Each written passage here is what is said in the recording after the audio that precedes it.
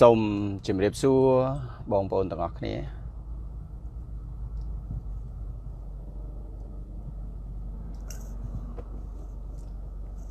បាទជម្រាបសួរជម្រាបសួរបងប្អូនជម្រាបសួរទាំងអស់គ្នាផង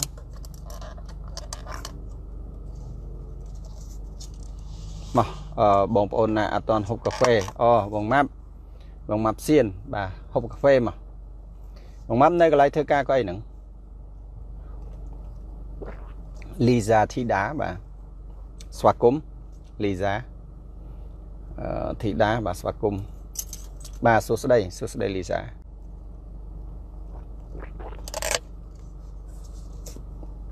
មកហូបកាហ្វេប៉ុន្តែមានមួយកែវឯណាខ្ញុំហូបហើយ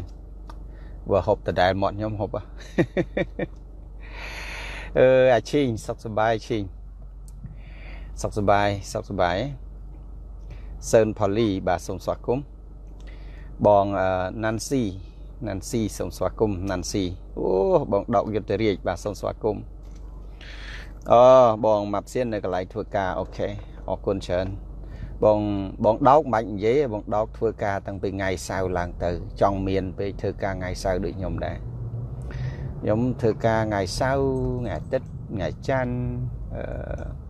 មិនចង់មានទេបងប្អូនដោយសារតែក្រពេកអានហើយធ្វើការអត់មានពេលសម្រាប់បងដាវីតខ្មែរពេជ្រពេជ្រសិនបាទស្វាគមន៍អឺចប់បាត់តែហ្មងណាអាឡាននោះវា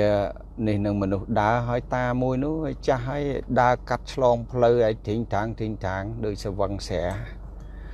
ធ្វើឲ្យឯងស្ទះស្តុបមួយ បាទគ្រូធំឆ្នោតយួនបាទ បងសំដោសំនួរអឺសំដោសំនួរសិនទេបាទមិនមិនទៅអឺឆេងសៀងលឹមឆេងសៀងលឹមសុខសប្បាយនឹងហើយឆេងសៀងលឹមសុខសប្បាយទាំងអស់គ្នាទេបាទខានជួបយូរបាទ Violeta បាទសូមជម្រាបសួរផងបងប្អូនឮសំឡេងខ្ញុំច្បាស់ទេបងបងគ្រូធំឆ្នោតយួនខ្ញុំអត់យល់បងតសេបងសុំដូរសំណួរមួយ អឺបានទេជាមួយមួយអីមានន័យថាម៉េចចេះបាទខ្ញុំអត់យល់បាទអត់យល់សុំទោសសុំសរសេរម្ដងទៀត Hi Lam បាទសូមស្វាគមន៍បង Jennifer សូមស្វាគមន៍អូខេអរគុណអរគុណច្រើន កំពុងចាំកំពុងចិត្តបាទសូមស្វាគមន៍ផងដោយសារតែមានពេល stop ចឹងហើយបានជាមានពេលអានខមមិនបងប្អូនដោយសារ stop បងប្អូន បាទនៅឈប់ឡាននៅនឹងថ្កល់ទេប៉ុន្តែបើឡានចេញដំណើរទៅខាងមុខអត់បានអានទេណាកុំថាអីថាវ៉ាន់បាទខ្ញុំសុខសប្បាយទេបងភួនហួតចឹងណាបងភួនហួតបាទអរគុណបងហើយបងសុខសប្បាយដែរទេបាទអូសំសួរនៅសំណួរមួយ បាទមានអីគ្រូធំឆ្នោតយួនមានអីសួរមកបាទបើខ្ញុំអាចមើលឃើញខ្ញុំនឹងឆ្លើយភ្លាមប៉ុន្តែសួរឥឡូវមកតិចទៀតខ្ញុំឡើងដល់ freeway ហ្នឹងអត់មានពេលទេអត់មានពេលអាន comment ទេបាទ អឹមណែម៉ាឡាសូមស្វាគមន៍ម៉ាឡាអឺតនគេទៀតស្មានហ្នឹងហើយម៉ាឡាអូខេអរគុណលីអឺលីជុនបាទ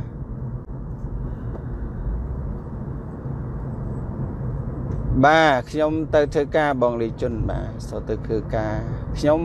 ជាទូទៅ អញ្ចឹងឯងច្រើនទៅធ្វើការគ្មានពេលសម្រាប់សម្រានទេប៉ុន្តែថ្ងៃនេះមានព័ត៌មានពិសេសហើយជាព័ត៌មានដែលត្រូវតែផ្សព្វផ្សាយអឺចូលរួមនៅក្នុងការផ្សព្វផ្សាយនៅព័ត៌មានហ្នឹង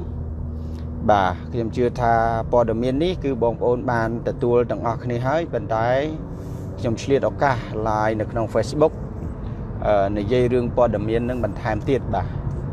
អឺសុធាលោក ពូសុធាឆៃបាទសូមស្វាគមន៍ផងអានីខូចបាទសូមស្វាគមន៍ quiz quiz រិនបាទសូមស្វាគមន៍ក្នុង quiz quiz រិនឥឡូវខ្ញុំឡើងចូលដល់ freeway ហើយបងប្អូនណាអត់បានអាន comment ទេសុំទោសហើយតែដល់ freeway អត់អាន comment បានទេបាទអឺខ្ញុំធ្វើដំណើរទៅធ្វើការបងអឺ nursing បាទបង nursing ខ្ញុំធ្វើដំណើរទៅធ្វើការអូខេបាទឥឡូវខ្ញុំអត់អានឈ្មោះបងប្អូនទេទេបងប្អូនដែលមកក្រោយសូមស្វាគមន៍ហើយសូមអភ័យទោសដែលមិនបានហៅឈ្មោះដោយសារខ្ញុំកំពុងតែធ្វើដំណើរតាមដងផ្លូវហើយខ្ញុំផ្ចង់អារម្មណ៍ទី1ខ្ញុំយកចក្ខុប្រសាទខ្ញុំមើលផ្លូវទី2ខ្ញុំប្រើវិចារណញ្ញាណខ្ញុំក្នុងការខ្ញុំនៅក្នុងការនិយាយរឿងដែលខ្ញុំចង់និយាយសូមអធិស្ឋានហើយបងប្អូន ចូលរួមចននេះចននេះព្រះចននេះចននេះសុខសប្បាយហើយមុនឲ្យតែចននេះមកខ្ញុំនិយាយតាម freeway ហ្នឹងខ្ញុំអត់បានឃើញឈ្មោះចននេះឯងទេតោះតែហឡាយចាប់បានទៅមើលទៅបានឃើញចននេះចូលមកដែរបាទឥឡូវឃើញចននេះចូលមកក៏លេខមើលឃើញមួយផ្លែតបាទសូមស្វាគមន៍ចននេះសុខសប្បាយទាំងអស់គ្នាបាទរឿងដែលខ្ញុំកាលណាខ្ញុំបាទចង់លើកឡើងនៅថ្ងៃនេះពាក់ព័ន្ធជាមួយនឹង ការប្រកាសព័ត៌មានរបស់គណៈអចិន្ត្រៃយ៍គណៈបកសង្គ្រោះជាតិនៅក្រៅប្រទេសអឺខ្ញុំ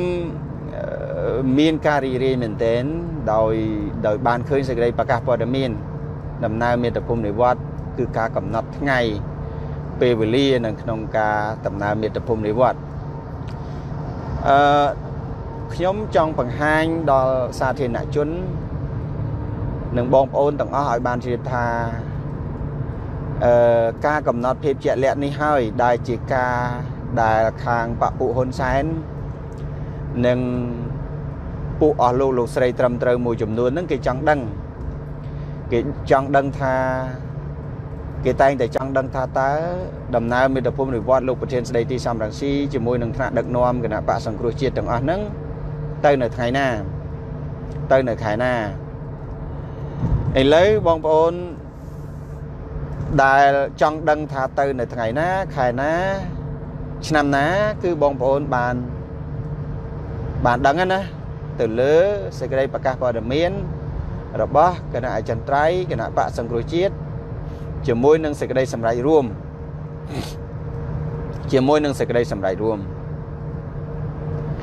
ហើយខ្ញុំជឿថាខាងគណៈបកប្រជាជនក៏អស់ការសង្ស័យក៏លែងសួរតទៅទៀតអានឹងជារឿងមួយ ចំណែកឯខាងពួកអស់លោកលោកស្រីត្រឹមត្រូវមួយចំនួនហ្នឹងក៏ខ្ញុំគិតថាពួកគាត់ហ្នឹងក៏ប្រហែលជាលែងឆ្ងល់ទៀតដែរណាលែងឆ្ងល់ទៀតដែរឥឡូវ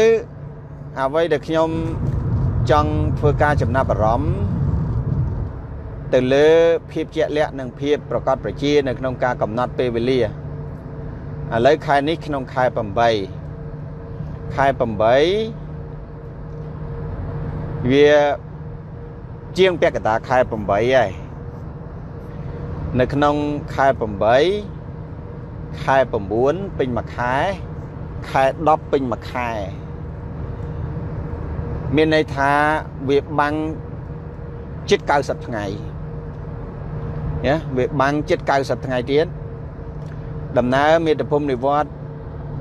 របស់គណៈបកសង្គ្រោះជាតិនឹងត្រឡប់ទៅ ក្នុងប្រទេសកម្ពុជាវិញរីឯបងប្អូនសមាជិកសមាជិកាអ្នកគ្រប់គ្រងគណៈបកសង្គ្រោះជាតិដែលរងគ្រោះដោយការរំលាយរបស់លោកហ៊ុនសែនក៏ត្រូវត្រៀមខ្លួនលក្ខណៈ ដើម្បីទៅទទួលលោកប្រធានស្ដីទីសំរងស៊ីជាមួយនឹង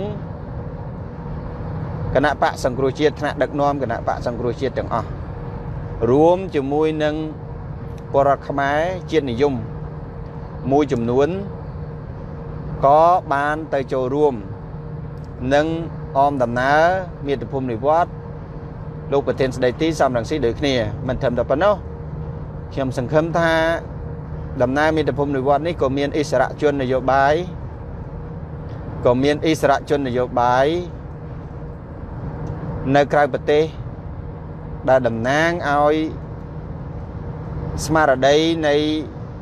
ប្រជាធិបតេយ្យនិងលទ្ធិប្រជាធិបតេយ្យនិងតំណាងឲ្យសេរីភាពរបស់ពលរដ្ឋរបស់ប្រជាពលរដ្ឋនិងអមដំណើរនឹងធ្វើដំណើរទៅជាមួយ ពួកយើងដែរទៅជាមួយពួកយើងដែរឥអាហ្នឹងគឺជាសេចក្តីសង្ឃឹមដែលយើងបានកំណត់ហើយសេចក្តីសង្ឃឹមនេះបងប្អូនគ្រាន់តែត្រៀមលក្ខណៈឥឡូវដឹងហើយឥឡូវយើងមិនចាំបាច់ឆ្ងល់ទៀតទេរឿងកំណត់ថ្ងៃពេលវេលាទៅយើងអត់ចាំបាច់ឆ្ងល់ទៀតទេអ្វីដែលខ្ញុំចង់ចូលរួមចំណាប់អារម្មណ៍គឺមិនមែននៅលើការកំណត់ថ្ងៃជាក់លាក់នឹងទេ បន្ទាប់ពីការកំណត់ថ្ងៃជាក់លាក់នឹងទៅអ្វីដែលខ្ញុំចាប់អារម្មណ៍ណាគឺបន្ទាប់ពីការកំណត់ថ្ងៃជាក់លាក់នឹងទៅ នៅក្នុងចន្លោះជិត90ថ្ងៃហ្នឹងតើវាមានបញ្ហាអ្វីមួយកើតឡើង ចំពោះខាងយើង ហើយវាមានបញ្ហាអ្វីមួយកើតឡើង ចំពោះបញ្ហាខាងលោកហ៊ុនសែននៅក្នុងចន្លោះ90ថ្ងៃហ្នឹងណាមុន ដំណើរមុនថ្ងៃកំណត់ដំណើរមេត្តភូមិនិវត្តរបស់ពួកយើង ដែលជាអ្នកឆ្លាញ់លទ្ធិប្រជាធិបតេយ្យអ្វីដែលយើងគិត គឺយើងអត់គិតរកពេលវេលាកំណត់ទៀតទេព្រោះពេលវេលាកំណត់យើងមានអស់ហើយយើងអត់ប្របាក់យើងអត់ប្របាក់សង្ស័យទៀតទេហើយយើងអត់ប្របាក់ឮពាក្យគេថាអញ្ចេះគេថាអញ្ចោះគេនិយាយអញ្ចេះនិយាយអញ្ចោះការកំណត់ថ្ងៃនេះហាក់បីដូចជា ណែហាក់បីដូចជាបំបិតមាត់ខាងបពុហ៊ុនសែនអញ្ចឹងអ្វីដែលយើងមានការមានការគិតអ្វីដែលខ្ញុំគិត ទី1ថាតើក្នុងកំឡុងពេលពីថ្ងៃកំណត់នឹងទៅតើវាមានព្រឹត្តិការណ៍អ្វីដែលកើតឡើងជាបន្ទាប់ អានឹងយើងនិយាយពីខាងយើងយើងនិយាយអំពីខាងហ៊ុនសែនខាងហ៊ុនសែនបន្ទាប់ពីរឿងនឹងទៅ យើងគិតថាតើហ៊ុនសែននឹងមាន សកម្មភាពអ្វីកើតឡើងជាបន្តទៅទៀតនេះអ្វីដែលយើងត្រូវចាប់អារម្មណ៍អ្វីដែលយើងត្រូវចាប់អារម្មណ៍អ្វីដែលយើងត្រូវគិត យើងត្រូវគិតជំហានបន្ទាប់ក្រោយតែពីយើងកំណត់ពេលវេលាជាក់លាក់និង ថ្ងៃខែជាក់លាក់នៅក្នុងការធ្វើដំណើរទៅវិញអានេះហើយជាជាការពិចារណាបែបបែបយើងគិតអំពីគោលការណ៍ឧបសគ្គឬបញ្ហាឧបសគ្គហើយនឹងមិនបញ្ហាមិនឧបសគ្គឥឡូវភាគីវាយគ្នាទាំងពីរយើងដឹងយើងកំណត់យើងកំណត់ឲ្យគូប្រយុទ្ធរបស់យើងដឹងពេលវេលាដែលយើងទៅណា ដំបូងគូប្រយុទ្ធរបស់យើងខាងភាគីហ៊ុនសែនគាត់ចេះតែវាយតាពីគាត់វាយតាពីគាត់គិតតាពីគាត់រៀបចំផែនការតាពីតាពីតាពីហ่าអាការដែលលោកហ៊ុនសែននិងបពុហ៊ុនសែនរៀបចំផែនការតាពីតាពីស្រែកតាពីតាពីព្រុសតាពីតាពីការពារតាពីតាពីហើយនឹង តប៉ែនិងត្រាម៉ាតាមប្រព័ន្ធសង្គម Facebook កន្លងមកខ្ញុំជឿថាឥឡូវហ៊ុនសែនអស់ការសង្ស័យបពពួកតពិសតពៀសនិងបពពួកតប៉ែរបស់លោកហ៊ុនសែនលែងសន្និដ្ឋានតប្រេះតប្រាស់ពីព្រោះយើងបានកំណត់ឲ្យហ៊ុនសែនដឹងហើយថាយើងចូលទៅប្រកួតនៅថ្ងៃនេះថ្ងៃនេះថ្ងៃនេះគឺថ្ងៃទី9ខែវិច្ឆិកាឆ្នាំ2019 នឹងបើតាមសេចក្តីប្រកាសព័ត៌មានរបស់គណៈអចិន្ត្រៃយ៍គណៈបកសង្គ្រោះជាតិដែលបានធ្វើសេចក្តីសម្រេចនិងគណៈកម្មាធិការដំណើរមេត្តភូមិនិវត្តជាមួយនឹងគណៈកម្មាធិការដំណើរមេត្តភូមិនិវត្តឃើញទេបងប្អូនបានឃើញណាអូខេភាគីហ៊ុនសែនគេដឹងគេដឹងថាយើងទៅគេដឹងថាយើងទៅនៅក្នុងថ្ងៃនោះ តើបងប្អូនយល់យ៉ាងម៉េចតើលោកហ៊ុនសែនត្រូវរៀបចំយ៉ាងម៉េចបងប្អូនបងប្អូនគិតពីរឿងលោកហ៊ុនសែនវិញណាតើហ៊ុនសែនគាត់រៀបចំទទួលពួកយើងយ៉ាងម៉េចអានឹងយើងនាំគ្នាគិតណាបន្ទាប់ពីថ្ងៃហ្នឹងទៅទល់គ្នានឹងទល់គ្នានឹងថ្ងៃធ្វើដំណើរមេត្តភូមិនិវត្តនឹងមុនថ្ងៃដំណើរមេត្តភូមិនិវត្តតើវានឹងមានព្រឹត្តិការណ៍អីខ្លះកើតឡើង នៅក្នុងគណៈបព្វជិជនកម្ពុជាក៏ដូចជានៅក្នុងប្រទេសកម្ពុជាឥឡូវបងប្អូនជួយសន្និដ្ឋានតិចមើលបងប្អូនជួយ comment សន្និដ្ឋានតិចមើលតើវាមានរឿងអីកើតឡើងជាបន្តបន្តបាទអានឹងបងប្អូនទៅសេបដាខ្ញុំផ្ដល់នៅទស្សនៈផ្ទាល់ខ្លួនរបស់ខ្ញុំខ្ញុំកណាខ្ញុំបាទផ្ទាល់ ខ្ញុំថាបន្ទាប់អំពីការប្រកាសជាផ្លូវការនៃដំណើរមាតុភូមិនិវត្តរបស់ពួកយើង ដឹកនាំដោយលោកប្រធានសំរងស៊ីធ្វើដំណើរទៅប្រទេសកម្ពុជាវិញអ្វីដែលហ៊ុនសែនត្រូវធ្វើជាបន្ទាប់ទី1សម្រុកនិងបន្ត ការគម្រាមកំហែងដល់សមាជិកសមាជិកាគណៈបកសង្គ្រោះជាតិនៅក្នុងប្រទេសក៏ដូចជានៅក្រៅប្រទេសបន្ថែមទៀតបាទអ្វីដែលខ្ញុំបញ្ជាក់ចំណុចទី1ណាអ្វីដែលហ៊ុនសែនត្រូវធ្វើជាបន្ត បន្ទាប់អំពីហ៊ុនសែនបានដឹងនៅការលបរិឆេទជាក់លាក់នៅក្នុងដំណើរមេត្តភូមិនិវត្តហ៊ុនសែននិងបពពួកហ៊ុនសែនប្រកាសណាស់ជានឹងប្រើកម្លាំងគម្រាមកំហែងនៅតាមមូលដ្ឋានរបស់ខ្លួន រួមទាំង ប្រព័ន្ធផ្សព្វផ្សាយបណ្ដាញ Facebook នេះផងពីព្រោះថ្មីថ្មីនេះកាលពីថ្ងៃទី16ម្សិលមិញនេះ នៅក្នុងក្រសួងមហាផ្ទៃគេបានរៀបចំនិងប្រកាសសមាជិកភាពអ្នកគ្រប់គ្រង និងអ្នកសាវជ្រាវតាមប្រព័ន្ធបណ្ដាញសង្គម Facebook ខ្ញុំសូមជម្រាបបញ្ជាក់ម្ដងទៀតថាថ្ងៃម្សិលមិញនេះ នៅក្នុងក្រសួងមហាផ្ទៃគឺបានធ្វើកិច្ចប្រជុំបន្ទាប់មកបានតែងតាំងមនុស្សចំនួន14រូបបន្ទាប់មកពួកគេតែងតាំងមនុស្សចំនួន14រូបខ្ញុំសូមបញ្ជាក់ថាម្សិលមិញនេះ នៅថ្ងៃទី16នេះក្រសួងមហាផ្ទៃបានតែងតាំងមនុស្សចំនួន14រូបដើម្បីឲ្យទទួលបន្ទុកផ្នែកត្រួតពិនិត្យនិងតាមដាន នៅព័ត៌មានតាមប្រព័ន្ធសង្គម Facebook ដែលដឹកនាំដោយដែលដឹកនាំដោយហ៊ុយវណ្ណៈ ខ្ញុំសូមបញ្ជាក់នៅក្នុងសមាជិកភាពអ្នកសារព័ត៌មាន សង្គម Facebook ដែលហ៊ុយវណ្ណៈដែលបងប្អូនធ្លាប់ស្គាល់ថា គឺជាកូនធររបស់ហ៊ុនសែនហើយហ៊ុយវណ្ណៈនេះឯងហើយគឺជាអឺសម្ព័ន្ធសហភាពសារព័ត៌មានកម្ពុជា ដែលយើងហៅថាសសសកហ៊ុយវណ្ណៈត្រូវបានតែងតាំងជា ប្រធានអង្គភាព តាមដានតាមប្រព័ន្ធសង្គមបណ្ដាញ Facebook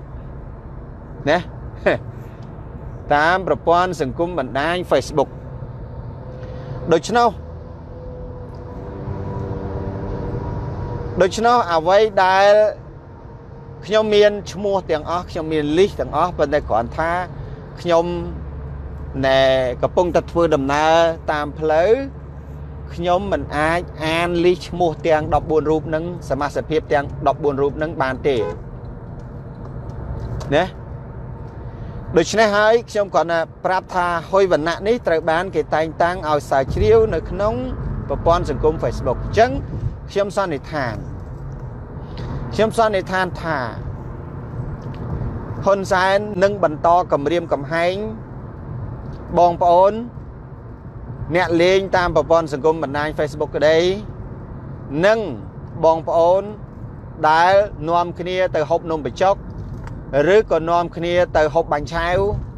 ឬក៏ជួបជុំគ្នានៅបុណ្យខែមនសន្តរដូវដូចជាបុណ្យភ្ជុំបិណ្ឌសង្ស័យថា ក្រមហ៊ុនសែននឹងមិនអនុញ្ញាតឲ្យមានបុណ្យភ្ជុំបិណ្ឌផងក៏មិនដឹងនៅក្នុងឆ្នាំនេះអឺយើងអត់ដឹង យើងអត់ដឹងសង្ស័យតើហ៊ុនសែន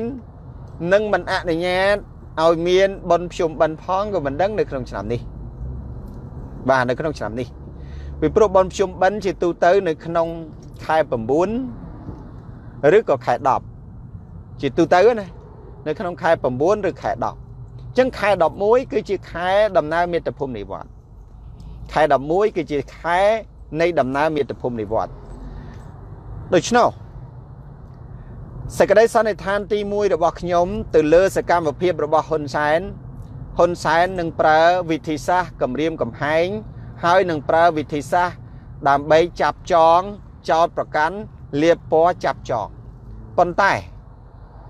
ខ្ញុំនិយាយនេះមិនមែនជាការបំភ័យដល់បងប្អូនជួបរួមជាតិទេខ្ញុំគ្រាន់តែបញ្ជាក់ឲ្យបងប្អូនដឹងជាមុនថា ផ្លូវដែលហ៊ុនសែនដើរគឺមានតែផ្លូវនឹងមានតែផ្លូវនឹងហេតុអ្វីបានជាហ៊ុនសែនចាំបាច់ត្រូវតែគម្រាមកំហែងបច្ចុប្បន្ននេះហ៊ុនសែនបានចាប់ផ្ដើមធ្វើអាការគម្រាមកំហែងនឹងគឺទៅតាមឆ្លូបឃុំ ទៅតាមអង្គភាពឃុំភូមិរបស់គេនឹងគឺដើរពិនិត្យមើល ថាតើអ្នកណាដែលមានចេតនាចង់ទៅទទួលលោកប្រធានសំរងស៊ីខ្លះគេមិនដឹងជាធ្វើស្អីគេទេតាមពិតទៅប្រជាជនខ្មែរនៅក្នុងភូមិនីមួយៗតាមពិតមិនមែនមេភូមិគឺជាមនុស្សខ្លាំងទេប្រជាជនខ្មែរតា4 10នាក់ចាប់មេភូមិនឹងបោះទឹកទន្លេបានចាប់មេភូមិមេប៉ុស្តិ៍នឹងបោះទឹកទន្លេបានតាបើសិនណាជាវាដើរមុនសភាពការគឺគ្រាន់តែថាយើងមិនមិន មិនចង់ឲ្យបងប្អូនធ្វើអញ្ចឹងទេពីព្រោះដំណើរមេត្តភូមិនិវត្តគឺជាដំណើរសន្តិភាពគឺជាដំណើរដោយសន្តិវិធី មិនមែនជាដំណើរប្រកបដោយហិង្សាទេ គឺជាដំណើរដោយអហិង្សាអានឹងគឺជានយោបាយរបស់ពួកយើង គឺជានយោបាយអហិង្សា ជាដំណើរអហិង្សាប៉ុន្តែរឿងហ៊ុនសែនគេបង្កើតហិង្សារបៀបណាអានឹងវាជារឿងរបស់ហ៊ុនសែន ទុកឲ្យហ៊ុនសែនទទួលបាបកម្មតាមយកវាសនារបស់ពួកគេប្រសិនបើហ៊ុនសែនធ្វើដូច្នោះមែនប្រសិនបើហ៊ុនសែនណែគាត់ប្រើហិង្សាមកលើសកម្មភាពអហិង្សាអានឹងអញ្ចឹងណាបងប្អូនអញ្ចឹងគេចាប់ដើមប្រើបណ្ដាបណ្ដាគេឲ្យទៅស៊ើបមើលតអ្នកទៅទទួលប្រមាណអីប្រមាណវិធីដែលហ៊ុនសែនត្រូវធ្វើនឹងធ្វើម៉េចទប់ស្កាត់ពលរដ្ឋ កុំឲ្យទៅទទួលកុំឲ្យឃើញថាពលរដ្ឋទៅទទួលសំរងស៊ីនឹងច្រើនហើយយើងប្រជាពលរដ្ឋខ្មែរបើសិនណាជាហ៊ុនសែនទប់បានមិនមកទទួលច្រើន អ្នកដែលបរាជ័យមិនមែនសំរងស៊ីមិនមែនគណៈបកសង្គ្រោះជាតិទេអ្នកដែលបរាជ័យនិងអ្នកដែលរងទុក្ខវេទនាគឺប្រជាពលរដ្ឋដែលមិនទៅទទួលលោកសំរងស៊ីមិនទៅទទួលដំណើរមេត្តភូមិនិវត្តនឹងឯង ហេតុអីបានជាខ្ញុំនិយាយដូច្នោះខ្ញុំនិយាយនេះមិនមែនបំភ័យហើយមិនមែនសម្លុតបងប្អូនញុះញង់បងប្អូនទេវាជាការពិតតិចថាមិនបាច់ទៅទេទុកឲ្យគេទៅទៅអ្នកណាទៅក៏ទៅទៅអីក៏ទៅទៅខ្ញុំសូមប្រាប់បើសិនណាជាសំរងស៊ីបរាជ័យឬក៏គណៈបកសង្គ្រោះជាតិបរាជ័យនៅក្នុងដំណើរមាតុភូមិនិវត្តណាគឺបងប្អូននឹងคลายទៅជាជនរងគ្រោះ ជាជំហានបន្ទាប់គឺมันអាចมันអាចជិះផុតទេហើយរាជដែលជោគជ័យគឺចិនហើយយួនរាជដែលជោគជ័យគឺចិនហើយយួនបងប្អូនស្ដាប់ឲ្យបានចំណុចហ្នឹងអាហ្នឹងគឺជាចំណុចទី1ដែលខ្ញុំសន្និដ្ឋាន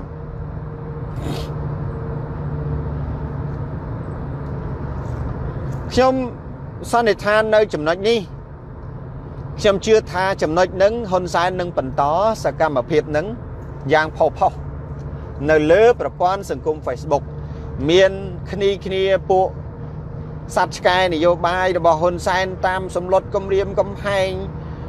អាខ្លះទៅវាចោតប្រកាន់ទៅវាបង្កើតគ្នាវាទៅវាចាប់គ្នាវាទៅហើយវាគម្រាមកំហែងថាឃើញឯអ្នកដែល អ្នកដែលចង់ចូលរួមដំណើរអីបដិវត្តអីចោតប្រកាន់អីចឹងទៅវាជាដំណើរបដិវត្តអីហ្នឹងតាមប្រព័ន្ធសង្គម Facebook ហ្នឹងពួកហ្នឹងគេនឹងធ្វើអញ្ចឹងឃើញទេស្រីតាណាពួកហ្នឹងនឹងធ្វើអញ្ចឹងអញ្ចឹងអាកំណត់អាកំណត់របៀបគម្រាមកំហែងកំណត់អីអស់ហ្នឹងគឺវាអត់ចម្លែកទេអាហ្នឹងគឺជាចំណុចទី1ចំណុចទី2 បងប្អូនចាំតាមដានមើលប្រកាសណាស់នៅក្នុងប្រទេសកម្ពុជាហ៊ុនសែននឹងរៀបចំកម្លាំងដើម្បីការពារផ្ទះខ្លួនឯងនឹងកាន់តែច្រើនទៅច្រើនទៅ ហើយជាពិសេសរៀបចំកម្លាំងចល័តនៅក្នុងទីក្រុងភ្នំពេញនឹងកាន់តែច្រើនចឹងទៅគេធ្វើឲ្យមើលដូចជារូបភាពអសន្តិសុខតាមពិតមិនមែនជារូបភាពអសន្តិសុខស្អីទេវាគ្រាន់តែជាដំណើរមាតុភូមិនិវត្តដើម្បីឲ្យមានដំណោះស្រាយនយោបាយហ្នឹង ហ៊ុនសែននឹងរៀបចំកម្លាំងធ្វើយ៉ាងម៉េចឲ្យប្រជាជនឃើញថាហាក់បីដូចជាមានអសន្តិសុខនៅក្នុងប្រទេសដោយសារតែដំណើរមាតុភូមិនិវត្តហើយការរៀបចំកម្លាំងការពារហ៊ុនសែននេះ ជាកម្លាំងដែលសង្កត់ថាជាការការពារដើម្បីកុំឲ្យមានអំពើអស្ថិរភាពណាមួយកើតឡើងអញ្ចឹងគេយកលេសហ្នឹងហ៊ុនសែនគេនឹងយកលេសហ្នឹងគេរៀបចំកម្លាំងគេ គេឲ្យកម្លាំងគេចល័តហើយកម្លាំងចាស់ចាស់ដែលនៅក្នុងតំបន់ពីមុនពីមុនមកហ្នឹងគេបដូរចេញគេដាក់កម្លាំងថ្មីថ្មីពួកអាក្មេងឈាមរាវមួយចំនួនរបស់ហ៊ុនម៉ាណែតហ្នឹងរបស់ពួកហេងសួររបស់ស្អីស្អីទាំងអស់ហ្នឹងគេឲ្យអាកម្លាំងក្មេងឈាមរាវហ្នឹងវានៅតាមតំបន់ប៉ុន្តែអាឈាមរាវហ្នឹងវាមិនតែបញ្ហាទេអាឈាមរាវហ្នឹងវាអត់មានបញ្ហាអីទេមានអាឈាមរាវខ្លះវាឈាមរាវ មែនតែនដែលជាកម្លាំងរបស់ចិនយួនបាទប៉ុន្តែក៏មានកម្លាំងរបស់ខ្មែរនៅក្នុងនឹងដែរវាអត់មែនថាអត់ទេវាមានកម្លាំងខ្មែរពិតប្រាកដនៅក្នុងនឹងបាទអញ្ចឹងគេនឹងបង្កើតរូបភាពរៀបចំកម្លាំងក្នុងរយៈកាល3ខែហ្នឹងដោយគេប្រើលេសថាមុននឹងបនឯករាជ្យមកដល់ហ្នឹងដើម្បីការពារស្ថិរភាពណាដើម្បីការពារស្ថិរភាពនៅក្នុងកម្មវិធីបនឯករាជ្យជាតិដូច្នេះគេពង្រីកកម្លាំងគេយកលេសហ្នឹងណា គេយកលេសហ្នឹងពង្រីកកម្លាំងតាមពិត គឺគេការពារហ៊ុនសែនទេគេរៀបចំកម្លាំងការពារហ៊ុនសែនទេអានឹងគឺពាក់ព័ន្ធជាមួយនឹងការសន្និដ្ឋានទី2របស់ខ្ញុំហើយបងប្អូនចាំតាមដានមើលជាជំហានបន្តបន្តបន្តបន្តបាទជាជំហានបន្តបន្តចំណុចទី3ចំណុចទី3លោកហ៊ុនសែន អាចនឹងលុបចោលលោកហ៊ុនសែនអាចនឹងលុបចោលកម្មវិធីបនឯករាជ្យជាតិនៅថ្ងៃទី9ខែវិច្ឆិកាព្រោះពលបនឯករាជ្យជាតិគឺជាបនជាតិដ៏សំខាន់ណាស់គឺបនឯករាជ្យនឹងនៅប្រទេសណាក៏គេមានដែរប៉ុន្តែហ៊ុនសែនអត់ខ្វល់ទេបើហ៊ុនសែនគិតថាការធ្វើបនឯករាជ្យទៅវាធ្វើឲ្យហ៊ុនសែននឹង ពិបាកបរាជ័យពេលនឹងហ៊ុនសែននឹងប្រកាសថាបនឯករាជ្យបនឯករាជ្យជាតិនឹងនឹងត្រូវលុបចោលខ្ញុំជឿថាលោកហ៊ុនសែននឹងអាចនឹងមានបំណងលុបបនឯករាជ្យថ្ងៃបនឯករាជ្យចោលទៀតដោយសារតែយើងជ្រើសរើសនៅថ្ងៃទី9ខែវិច្ឆិកាឆ្នាំ2019គឺជាថ្ងៃដែលយើងចូលទៅក្នុងប្រទេសកម្ពុជាខ្ញុំសង្ស័យខ្ញុំសង្ស័យណា អានឹងបើពាក្យគេលោកហ៊ុនសែនឮអ្វីដែលខ្ញុំនិយាយហ្នឹងណែគិតមើលមើលលោកហ៊ុនសែនអាចអាចនឹងលុបចោលកម្មវិធីបុណ្យជាតិដ៏សំខាន់មួយនេះគឺបុណ្យឯករាជ្យជាតិបាទអាចនឹងលុបចោលព្រោះហ៊ុនសែនស្អីក៏ហ៊ានធ្វើដែរព្រោះហ៊ុនសែនទល់ច្រកហើយណាហ៊ុនសែនទល់ច្រកអញ្ចឹងស្អីក៏ហ៊ានធ្វើដែរពីព្រោះកាលណាបើបើ បើបើហ៊ុនសែនមិនលុបចោលបុណ្យឯករាជ្យមានន័យថាគ្រប់ស្ថាប័នជាតិគ្រប់រោងចក្រគ្រប់សហគ្រាសគ្រប់ទីកន្លែងប្រជាពលរដ្ឋឈប់ទាំងអស់ប្រជាពលរដ្ឋមន្ត្រីរាជការទាំងអស់គឺឈប់សម្រាកណាមន្ត្រីរាជការទាំងអស់គឺឈប់សម្រាកដូច្នេះហ៊ុនសែនដឹងថាដំណើរមាតុភូមិនិវត្តនឹងចូលដល់នៅថ្ងៃទី9 ខែវិច្ឆិកាឬក៏មុនថ្ងៃទី9ខែវិច្ឆិកាគ្មានក្រោយទេអាចនឹងមុនថ្ងៃទី9ខែវិច្ឆិកាដូច្នេះហ៊ុនសែនចាំបាច់ត្រូវតែលុបចោលបនឯករាជ្យជាតិណាហ៊ុនសែនត្រូវតែលុបចោលបនឯករាជ្យជាតិមិនធ្វើបនឯករាជ្យជាតិដោយរឿងអុំទូកអកអំបុកសាពះប្រាក់ខែអញ្ចឹងហ៊ុនសែនធ្លាប់លុបចោលប្រមាណដងហើយ ហ៊ុនសែនលុបចោលបនប្រពៃណីជាតិដ៏ធំរបស់យើងមិនដែលមានពីមុនមកហ្នឹងហ៊ុនសែនលុបចោលណាចំណែកឯបនឯករាជ្យជាតិហ្នឹងហ៊ុនសែននឹងលុបចោលដែរគឺហ៊ុនសែនចង់បំបត្តិចោលនៅស្នាដៃរបស់សម្ដេចព្រះបរមរតនកោដ្ឋនរោត្តមសីហនុដែលទៀមទាបនឯករាជ្យពីបារាំងចឹងហ៊ុនសែនប្រឈមខ្ញុំសង្ស័យថាហ៊ុនសែនកំពុងតែមានគំនិត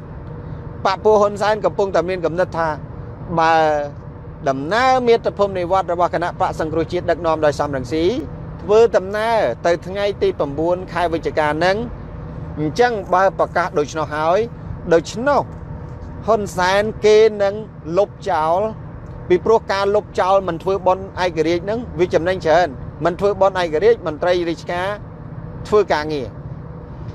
ណាមន្ត្រីរាជការធ្វើការងារឥឡូវបងប្អូនពិនិត្យមើលថាតើបនថ្ងៃទី9ខែវិច្ឆិកានឹងចំនឹងថ្ងៃស្អី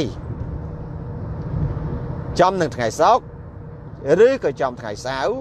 ឬក៏ចំថ្ងៃអាទិត្យឬក៏ចំថ្ងៃច័ន្ទណាបងប្អូនបងប្អូនជួយជួយផ្សព្វផ្សាយរឿងនឹងផងជួយចែកចាយរឿងហ្នឹងឲ្យបងប្អូនដតីដតីទៀតប្រសិនបើសិនជាចំថ្ងៃច័ន្ទហ៊ុនសែនលុបចោល ពីព្រោះហ៊ុនសែនមិនចង់ឲ្យមន្ត្រីរាជការទៅចូលរួមអមដំណើរ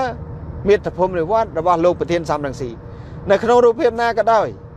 ហ៊ុនសែនអត់មានកលាទេគ្រាន់តែសេចក្តីប្រកាសព័ត៌មានរបស់ថ្នាក់ដឹកនាំគណៈបកសង្គ្រោះជាតិចេញមកគឺខ្ញុំឃើញថាចាំមើលមើលតើហ៊ុនសែនគាត់ត្រូវធ្វើម៉េចត្រូវធ្វើម៉េចអញ្ចឹងសេចក្តីសន្និដ្ឋានទី2 ខ្ញុំសន្និដ្ឋានទី3នៅក្នុងចំណុចទី3ហ្នឹងខ្ញុំគិតថាហ៊ុនសែនអាចនឹងលុបបនឯករាជ្យចោលដូច10ធ្នូដូច23ដុល្លារអញ្ចឹងប៉ុន្តែគ្រាន់តែថា10ធ្នូ23ដុល្លារហ្នឹងគឺគេលុបចោលនៅឆ្នាំ2020ចំណែកឯប៉ុនឯករាជ្យនឹងប្រហែលជាហ៊ុនសែនយកលេសដោយប្រការផ្សេងផ្សេងដើម្បីផ្អាកធ្វើប៉ុនឯករាជ្យយើងមិនប្រើពាក្យថាលុបចោលទេណាយើងប្រើពាក្យថាផ្អាកពាក្យថាបើហ៊ុនសែនផ្អាកធ្វើប៉ុនឯករាជ្យ មានន័យថាហ៊ុនសែនអន់ជាងអាស័យមួយព្រុសទៅទៀតណាហ៊ុនសែនអន់ជាងអាស័យមួយព្រុសទៅទៀតអញ្ចឹងបងប្អូនចាំតាមដានតទៅទៀតអូខេចាំតាមដានតទៅទៀតតែបើហ៊ុនសែនមិនលុបអានឹងវាជារឿងមួយហ៊ុនសែនលុបគឺហ៊ុនសែនតម្រូវឲ្យកម្មករកម្មការនីធ្វើការងារកាលណាបើបើសិនណាជាហ៊ុនសែនមិនលុបមានន័យថាកម្មករកម្មការនីរោងចក្រទាំងអស់ ត្រូវតែឈប់ពីការងារបាទត្រូវតែឈប់ពីការងារត្រូវតែឈប់ពីការងារចំណែកឯចំណែកឯបើហ៊ុនសែនលុបមានន័យថាហ៊ុនសែនតម្រូវឲ្យកម្មករកម្មការនីនិងមន្ត្រីរាជការរបស់ហ៊ុនសែនទាំងអស់បន្តធ្វើការងារតទៅទៀតប្រសិនបើចំថ្ងៃច័ន្ទថ្ងៃធម្មតា ណាបងប្អូនបងប្អូនណាមានត្រូវនៅថ្ងៃច័ន្ទណ៎បងបងបរោះចិត្តធោះត្រូវត្រូវនៅថ្ងៃច័ន្ទដូចខ្ញុំនិយាយចឹងបើត្រូវនឹងថ្ងៃច័ន្ទណាបើបនឯករាជ្យនឹងត្រូវនឹងថ្ងៃច័ន្ទណាតែប្រហែលខ្ញុំសង្ស័យបងបងបរោះចិត្តធោះខ្ញុំសង្ស័យថាហ៊ុនសែននឹងលុបលុបកម្មវិធីបនឯករាជ្យនឹងចោលខ្ញុំសង្ស័យអានឹងជាការសង្ស័យរបស់ខ្ញុំទេ បាទជាការសង្ស័យរបស់ខ្ញុំទេអញ្ចឹងបើចំថ្ងៃច័ន្ទហ៊ុនសែនមានបំណងអញ្ចឹងទី1ហ៊ុនសែនគម្រាមកំហែងប្រជាជននៅតាមមូលដ្ឋាន ដែលប្រុងទៅទទួលលោកប្រធានសំរងស៊ីហើយបន្តគម្រាមកំហែងហើយអាចនឹងមានចាប់ខ្លះទៀតដាក់គុកអាចនឹងមានចាប់ចោតខ្លះទៀតដើម្បីដាក់គុកណាដើម្បីគម្រាមកំហែងបើមិនចាប់ចោតដាក់គុកទេអឺអឺ គាត់មិនអាចធ្វើឲ្យមានអ្នកខ្លាចអញ្ចឹងបងប្អូនចាំសម្ដីខ្ញុំថាបើសិនណាជាហ៊ុនសែននឹងបន្តចាប់ដាក់គុកកាន់តែច្រើនបងប្អូនត្រូវតែបង្វែបង្វែរភាពឈឺចាប់នៃអំពើនៃអំពើឈួតលីលា របស់បពពួកហ៊ុនសែនចោតប្រកាន់ចាប់ដាក់គុកនេះ បង្វិលអាការខ្លោបខ្លាចទៅជាការលះបង់និង ការដើរចូលគុកបណ្ដោយធ្វើយ៉ាងម៉េចឲ្យបានមុនបងប្អូនណាធ្វើយ៉ាងម៉េចឲ្យបានមុនគឺយើងបង្វែរអាស្ថានភាពនឹងដើម្បីឲ្យคลายទៅជាស្ថានភាពលែងคลายទៅជាស្ថានភាពសុកចិត្តឲ្យហ៊ុនសែនចាប់ដាក់គុកសុកចិត្តឲ្យហ៊ុនសែនចោទដាក់គុកពីព្រោះដំណើរដែលពួកយើងទៅនេះគឺជាដំណើរដែលបងប្អូន អ្នកជឿចាស់ចាស់ដែលជឿទៅលើណែទៅលើអិនតំនាយណាទៅលើទេវតំនាយបងប្អូនបងប្អូនបានដឹងហើយ នៅក្នុងទឹកចុងក្រោយនេះ នៅក្នុងទឹកនេះបងប្អូនដែលធ្លាប់ឮគេស្វែងរកព្រះបាទធម្មមឹកហើយដល់ធម្មមឹកទៅត្រួយនៅក្នុងកលៈទេសៈមួយនឹង ពេលដែលធម្មមឹកទៅនឹងគឺមានស្ដេចនាគស្ដេចគ្រុឌស្ដេចខ្លាស្ដេចតោស្ដេចអីទាំងអស់ទៅទៅជាមួយបងប្អូនដែលដែលឮអិនតំនាយរឿងហ្នឹងឯងដែលឮឯងបងប្អូនដែលធ្លាប់លើចាស់ចាស់និយាយពីរឿងពុទ្ធទំនាយខ្លះគេហៅអិនទំនាយខ្លះគេហៅពុទ្ធទំនាយបងប្អូនធ្លាប់ឮទេបងប្អូនធ្លាប់ឮទេហើយធម្មឹកដែលទៅនឹង មាននាគមានគ្រុឌមានស្ដាច់ស្អីស្អីស្អីទៅទាំងអស់ទៅហើយទៅដល់នៅមុខព្រះបរមរាជវាំងនឹងថាថាស្ដាច់គេហៅស្ដាច់គោកធ្លោកនឹងអត់ព្រមទេមានតែស្ដាច់គោកធ្លោកមានស្ដាច់គោកធ្លោកនឹងស្ដាច់មួយគេហៅតែស្ដាច់ពីលនៅក្នុងចំណោមស្ដាច់ទាំងអស់គឺស្ដាច់ពីលគោកធ្លោកនឹងខ្លាំងជាងគេ ស្ដាច់ពីលគោកធ្លោកនឹងគឺស្ដាច់ហ៊ុនសែនហ្នឹងឯងស្ដាច់ពីលគោកធ្លោកខ្លាំងអត់ព្រមចុះចាញ់ទេ គេគំរាមគេសម្លុតគេដាក់គំនាបប៉ុណ្ណាអត់ព្រមចុះចាញ់ទេតើតែគេចាប់ពងមកគេយកមកដំពី3ពោកដូចគេដំពងគោបានសម្ដេចពីលគោកធ្លោកនឹងគេហៅសម្ដេចពីលគោកធ្លោកនឹងសុំចុះចាញ់ប្រគល់អំណាចសុំចុះចាញ់ប្រគល់អំណាចជូនរាជណាសុំចុះចាញ់ប្រគល់អំណាចជូនរាជ នេះគឺជាអិនតំនាយក៏បាន យើងនិយាយថាពុទ្ធតំនាយក៏បានអញ្ចឹងវាស្របជាមួយនឹងដំណើរមាតុភូមិនិវត្តរបស់គណៈបកសង្គ្រោះជាតិដែលត្រឡប់ទៅវិញនៅក្នុងរយៈកាលចុងក្រោយនេះថាតើមានសហគមន៍អឺរ៉ុបប្រមាណមានសហរដ្ឋអាមេរិកមានស្អីស្អីអាហ្នឹងសិតតែពួកនាគពួកគ្រុឌណាសិតតែពួកនាគពួកយៈពួកគ្រុឌហើយសិតតែអ្នកធំធំទៅហើយហើយមិនមែនទៅធម្មតាទៅចាប់ហ៊ុនសែនដំពងហើយណា ចាប់ហ៊ុនសែននិយាយដល់នៃចាប់ហ៊ុនសែនហ្នឹងបងប្អូនយើងមួយចំនួន ជាពិសេសអស់លោកលោកស្រីត្រឹមត្រូវឬក៏ពួកអត្រឹមត្រូវមួយចំនួន ថាពួកហ៊ុនសែនគេប្រលើសគេនិយាយពីរឿងទៅចាប់ហ៊ុនសែនថាយើងទៅចាប់អាម៉េចអីអាម៉េចបើពួកហ៊ុនសែនសួរអញ្ចឹងអានឹងខ្ញុំអត់អត់អត់អត់សូវស្ទាខ្វល់គិតហ្មងទេពីព្រោះពួកចៅ វាអាងកភ្លើងវាអាងអីដល់ពេលវាមានកភ្លើងនៅពេលដែលយើងដៃទៅទេទៅនិយាយថាយើងចូលទៅចាប់ពួកចៅពួកចៅវាថាឯងមកចាប់អញអាម៉េចណាបើឯងអត់មានកភ្លើងអញសិតតែកភ្លើងយន្តហើយមកចាប់អញអាម៉េចអានឹងបើពួកគណៈបកប្រឆាំងបើពួកគណៈបកប្រជាជនតំងគេថាអញ្ចឹងណាអានឹងខ្ញុំអត់ថាទេពីព្រោះពួកនឹងវាជាចោលវាប្រកាសជាវាអាងកភ្លើងមក បកនិយាយមកឲ្យយើងហើយប៉ុន្តែពួកអធិមត្រូវពួកអធិមត្រូវថាទៅចាប់អាម៉េចហើយខ្ញុំធ្លាប់បានបញ្ជាក់បងប្អូនហើយតាំងពីលោកប្រធានសំរងស៊ីគាត់និយាយដំបូងភាសាថាយើងនាំគ្នាទៅចាប់ហ៊ុនសែនពាក្យចាប់ហ្នឹងមានអ្នកខ្លះអត់យល់ពាក្យសម្ដីចាប់ចាប់មានច្រើនប្រភេទណាស់ចាប់របៀបម៉េចចាប់ដៃក៏ចាប់ចាប់ហ៊ុនសែនដាក់គុកក៏ចាប់ ឬក៏ចាប់ហ៊ុនសែនមិនអោយធ្វើនយោបាយត្រឡប់ថយក្រោយក៏ចាប់មានន័យថាធ្វើយ៉ាងម៉េចឲ្យហ៊ុនសែននឹងថ្កល់ពាក្យថាចាប់មានន័យថាឲ្យនឹងថ្កល់ក្នុងន័យនយោបាយក្នុងន័យភាសាចាប់នៅក្នុងទីនេះភាសាអ្នកនយោបាយគេនិយាយមួយមួយណាបើយើងយកតែភាសារិះគន់យកភាសាវាយប្រហារ ដោយគ្មានខួរក្បាលពិចារណាទេ យើងនឹងคลายទៅជាមនុស្សដែលមានខួរដូចជាសត្វស្វាដែលគេយកទៅហត់ពាក្យចាប់ខ្ញុំនិយាយឲ្យបងប្អូនពិចារណាហើយឲ្យបងប្អូនស្ដាប់ម្ដងទៀតពាក្យថាទៅចាប់ហ៊ុនសែននេះ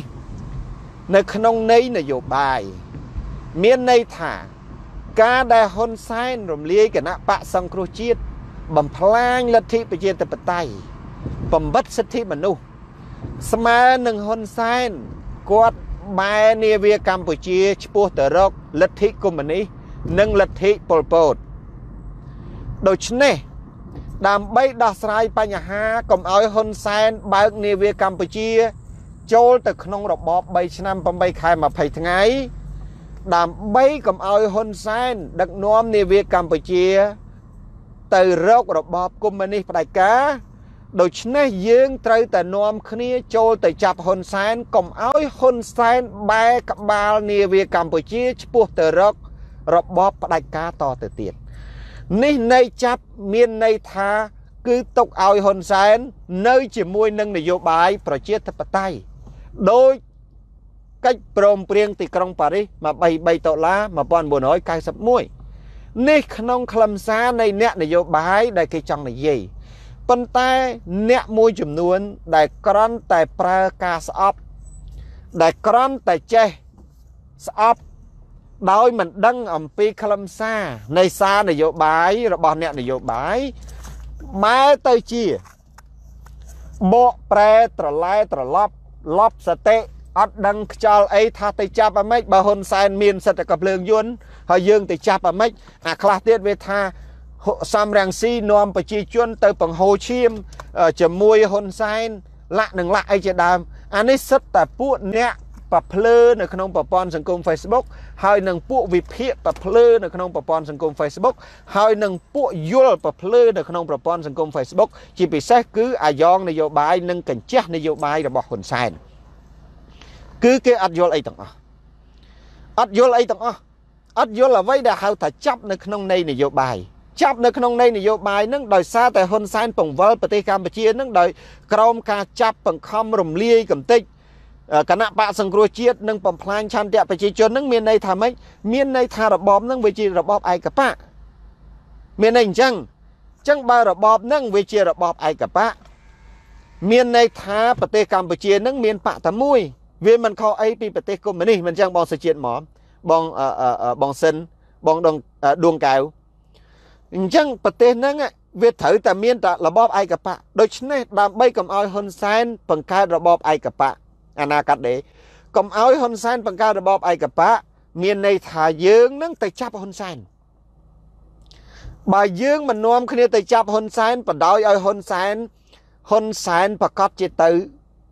របបកុម្មុយនីសមែនតើណានេះក្នុងន័យចាប់ដែលលោកសំរងស៊ីគាត់លើកឡើងនឹងខ្ញុំគិតថាអញ្ចឹង ខ្ញុំគិតថាអញ្ចឹងក្នុងន័យចាប់នឹងអញ្ចឹងហើយបានពួកអាដៃនោះវាបកប្រែថា ចាប់អាម៉េចម្ដងថាទៅចាប់ហ៊ុនសែនហើយម្ដងទៅថាទៅផ្ដួលហ៊ុនសែនម្ដងថាទៅចាប់ហ៊ុនសែនម្ដងថាទៅផ្ដួលហ៊ុនសែនណែអាផ្ដួលដូចគ្នាអាចាប់នឹងដូចគ្នាភាសានឹងវាតែមួយទេផ្ដួលហ៊ុនសែនឲ្យនៅមួយកន្លែង កុំឲ្យហ៊ុនសែននឹងរត់ទៅណាតែប្រទេសតែប្រដាឲ្យហ៊ុនសែននឹងរស់នៅក្នុងកិច្ចព្រមព្រៀងទីក្រុងប៉ារីសដែលមានស្រាប់អានឹងហើយភាសាអ្នកនយោបាយខ្ញុំបញ្យល់រឿងនេះ ដើម្បីកុំឲ្យបងប្អូនសង្ស័យប្រជាជនខ្មែរសង្ស័យថាពាក្យតាតេចាប់គឺការប្រើអំពើហិង្សាមិនមែនទេ គឺបង្ខំហ៊ុនសែនវាយហ៊ុនសែនឲ្យទក់ឆ្អឹងអាពាក្យវាយហ៊ុនសែនឲ្យទក់ឆ្អឹងអាពាក្យផ្ដួលហ៊ុនសែនអាពាក្យកំចាត់ហ៊ុនសែនអាពាក្យចាប់ហ៊ុនសែនអាពាក្យអីទាំងអស់ហ្នឹងណាធ្វើយ៉ាងម៉េចឲ្យហ៊ុនសែននៅជាមួយនឹងស្មារតីនៃកិច្ចព្រមព្រៀងទីក្រុងប៉ារីសធ្វើយ៉ាងម៉េចឲ្យមានគណៈបកមានការបោះឆ្នោតត្រឹមត្រូវដូចគ្នាដូចកន្លងមកហើយកំណែតម្រង់ក្នុងន័យនយោបាយនឹងគឺក្នុងន័យអញ្ចឹង ប្រជាធិបតេយ្យអ្នកណាមិនដឹងលោកសំរងស៊ីគាត់គឺជាស្ថាបនិកអ្នកនាំបងប្អូនកម្ពុជាភាគច្រើនអ្នកនយោបាយឲ្យស្គាល់ប្រជាធិបតេយ្យគាត់ដឹងប្រជាធិបតេយ្យមិនមែនចាប់ហ៊ុនសែនមកបាញ់ចោលដោយពួកកុម្មុយនីសទេពួកកុម្មុយនីសគេទៅលួចបាញ់មនុស្សចោលនៅពេលដែលគេដឹងថាមនុស្សនឹងមានឥទ្ធិពលជាងខ្លួនចំណែកឯពួកប្រជាធិបតេយ្យគេអត់ទៅបាញ់មនុស្សចោលដើម្បីអនុវត្តប្រជាធិបតេយ្យទេអត់ទេ ពាក្យភាសាអ្នកនយោបាយប្រើភាសាផ្ដួលភាសាកំចាត់ប្រើភាសាអីហ្នឹងមានន័យថាកំចាត់ចាប់អីទាំងអស់ហ្នឹងគឺនៅក្នុងបណ្ដុំក្របខ័ណ្ឌប្រជាធិបតេយ្យក្របខ័ណ្ឌប្រជាធិបតេយ្យ គឺមិនមែនក្របខ័ណ្ឌហឹង្សាទៅសម្រាប់ហ៊ុនសែនចោលទៅសម្រាប់គ្រួសារហ៊ុនសែនចោលដោយពួកអបមត្តប្រមងនៅតាមប្រព័ន្ធសង្គម Facebook មួយចំនួននិងអ្នកវិភាគស្ទើរភ្លើងមួយចំនួនគេបានលើកឡើងទេសុំទោសខ្ញុំអត់ប្រមាថអ្នកទាំងអស់គ្នាទេខ្ញុំគ្រាន់តែនិយាយថាពួកអ្នកស្ទើរភ្លើងនិយាយស្ទើរភ្លើងមួយចំនួនចេះតែនិយាយទៅនិយាយតែប្រេះតែផ្ដាស់ទៅហើយខ្ញុំមិនមែនចេះជាងពួកគាត់ទេប៉ុន្តែរឿងខ្លះខ្ញុំយល់ជាងពួកគាត់ណា ព្រោះយើងមិនមែនចេះទាំងអស់ទេប៉ុន្តែមានរឿងខ្លះគាត់យើងប្រកែជាងគាត់ដែរប្រកែជាងពួកគាត់អញ្ចឹងក្នុងន័យហ្នឹងដែលខ្ញុំចង់បញ្ជាក់ថាដំណើរមាតុភូមិនិវត្តទី2ហ្នឹងចំណុចទី3ហ្នឹងហ៊ុនសែនអាចប្រឈមជាមួយនឹងការលុបនៅថ្ងៃ23តុលាកៅសំទោសហ៊ុនសែនប្រឈមជាមួយនឹងការផ្អាកមិនធ្វើបនឯករាជ្យនៅថ្ងៃទី9ខែវិច្ឆិកាឆ្នាំ2019នេះដោយផ្ដោតទៅលើ ហ៊ុនសែនកំពុងតែធ្វើសកម្មភាពអានឹងគឺជំហានបន្ទាប់ពីយើងកំណត់ថ្ងៃច្បាស់លាស់ឥឡូវបងប្អូនជំមើជំហានទាំង3ទី1ហ៊ុនសែនបន្តគម្រាមកំហែងនិងចាប់មនុស្សដាក់គុកបន្ថែមទៀតប៉ុន្តែហ៊ុនសែនធ្វើហ៊ុនសែនកាន់តែធ្ងន់កឥឡូវហ៊ុនសែនធ្វើរបៀបណាក៏ដោយហ៊ុនសែនកាន់តែធ្ងន់កជំរឿរបស់ហ៊ុនសែនរាល់ថ្ងៃនឹងមាន2 ដែលហ៊ុនសែនកំពុងតែគិតនិងគណៈបកប្រជាជនកំពុងតែគិតជំរឿមាន2ទី1ទី1បន្ទាប់ពីថ្ងៃដែលដែលចេញសេចក្តីប្រកាសព័ត៌មានរបស់គណៈរបស់គណៈបកសង្គ្រោះជាតិនឹងទៅណាទី1 ក្រុមលោកហ៊ុនសែនទាំងអស់នឹងធ្វើជាមនុស្សគោជាមនុស្សកើតជំងឺ stroke ដោយលោកគ្រូសនារាថាលោកហ៊ុនសែនអាចប្រឈមនឹងជំងឺ stroke មួយចំហៀងខ្លួននិយាយអេអឺអឺនិយាយមិនចេញបាទដល់និយាយមិនចេញហើយអាដៃនឹងទៅសេទៅសេនៅក្នុងសង្គម Facebook អត់បានអានឹងនិយាយពីហ៊ុនសែន និយាយពីបពពួកបាទនិយាយពីបពពួកហ៊ុនសែនវិញ គេប្រកាសជានាំគ្នានិយាយថាពីថ្ងៃហ្នឹងទៅ គេនឹងមិននិយាយពីគណៈបកសង្គ្រោះជាតិទេទេ ពីព្រោះគណៈបកសង្គ្រោះជាតិងាប់ហើយគេនឹងនិយាយចឹងបងខិនជំរឿនគណៈបកសង្គ្រោះជាតិសាលិកាអំណាចសាលិកាតឡាកាងាប់បាត់ហើយអានឹងពួកអាយ៉ងនិងអាយ៉ងគេទៅសើអំណាចសាលិការបស់គេ ប៉ុន្តែសួរថាអន្តរជាតិគេឲ្យតម្លៃសាធិការរបស់អាយ៉ងនេះអត់តឡាការអាយ៉ងនឹងអត់វាអត់ហើយចុះពួកយើងឲ្យតម្លៃទៅលើតឡាការកពូលតឡាការអាយ៉ងនឹងអត់វាអត់សាធិការតឡាការកពូលអាយ៉ងខ្ញុំនិយាយមួយម៉ាត់នៃការចំពោះសាធិការដែលរំលាយគណៈបកសង្គ្រោះជាតិគឺវាមិនស្មើនឹងអាចឆ្កែផង អាសាធិការហ្នឹងហេតុអីបានជាខ្ញុំថាអញ្ចឹង អាចឆ្កែគេយកវាទៅធ្វើជីក៏ប៉ុន្តែអាសាដីការបស់តឡាការកម្ពុជាដែលចេញរំលាយគណៈបកសង្គ្រោះជាតិនឹងនឹងធ្វើការចោទប្រកាន់ទៅលើលោកប្រធានកម្មសខាអីលាក់នឹងលាក់អីទាំងអស់ហ្នឹងណាទាំងអស់ហ្នឹងគឺអន់ជាងអាចឆ្កែទៀតហេតុអីយើងអត់ទទួលស្គាល់ពីព្រោះទទួលស្គាល់យ៉ាងម៉េចបើមេយើងអត់មានកំហុសផងបងហេងលីបងលីហេងបងប្អូនទាំងអស់គ្នា ឲ្យទទួលស្គាល់យ៉ាងម៉េចបើយើងអត់មានកំហុសអីផងហ្នឹងហើយបើប៉ាក់យើងអត់មានកំហុសអីផងហ្នឹងតែយើងត្រូវទទួលស្គាល់អាម៉េចហើយរំលាយយើងទាំងអយុធធម៌ទទួលស្គាល់យ៉ាងម៉េចអញ្ចឹងមានន័យថាពួកគេនឹងប្រែមាត់គេនិយាយថាពួកយើងអនុវត្តទៅតាមសាធិការតឡាការកម្ពុជាបានរំលាយគណៈបកសង្គ្រោះជាតិពួកយើងនឹងមិននិយាយអំពីពួកគណៈបកសង្គ្រោះជាតិទេពីព្រោះពួកនេះ អំណាចសាធិការតឡាការកម្ពុជាបានរំលាយអស់ហើយខ្ញុំថា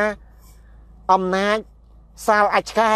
អានឹងទើបត្រឹមត្រូវជាងហើយកុំនិយាយថាអាឡុងនេះជាក្មេងឆ្លើយប្រមាថសាលដីការបស់តឡាការកម្ពុជាកុំថាកុំថាអាឡុងនឹងគឺជាក្មេងឆ្លើយអត់ឆ្លើយទេពីព្រោះអតឡាការកម្ពុជានឹងអាសាដីកានឹងមិនមែនត្រឹមតែឆ្លើយទេវាប្រៃផ្សាយជាងសัตว์នរកទៅទៀតអាសាដីកានឹង ណែអាឡុងគ្រាន់តែអាចឆ្លើយនិយាយភាសាថាអាសាដីកាតឡាការនឹងវាជាអាចឆ្កែវាអន់ជាងអាចឆ្កែប៉ុន្តែអាសាដីកាតឡាការកម្ពុជាដែលចេញទាំងតតឹងទឹះដោយពួកអាតឡាការអស់ហ្នឹងអាហ្នឹងវាខូខើជាងពួកសត្វនរកទៅទៀតដូច្នេះបើនិយាយពីអសិលធម៌បើនិយាយពីអគុណធម៌អាសាធិកានោះទេ គឺជាសាធិកាដែលចេញមកដោយពួកនរកដែលចេញមកដោយពួកនរក ធម្មតាការអនុវត្តច្បាប់ខ្ញុំអត់បដិសេធទេ